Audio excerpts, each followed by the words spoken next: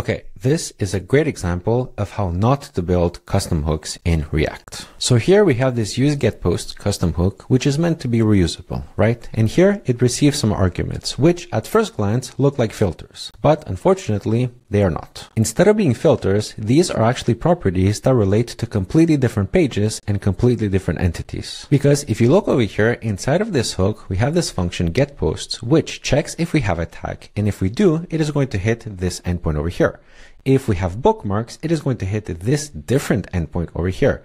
And then if we have username, it is going to hit this endpoint over here. These are different endpoints for different entities. And then over here, if we continue, we have this get query key function, which does a similar thing. It checks all of these props and then returns a different query key based on each of those props. And finally, we're putting all of these things here in the use infinite query hook, which we are returning as the result value of this custom hook. This is bad, and this is what we call too reusable. I get why the developer did it this way, because at the end of the day, we're always going to be fetching some sort of post, but you should not put all of these different things into one hook just in the name of making it reusable. Instead, you should have three separate hooks, one to fetch the post by a username, so for a given user, one to fetch the post based on specific tags, and then one to fetch the posts that have been bookmarked. These are separate pages, they are different things, and they belong in separate hooks.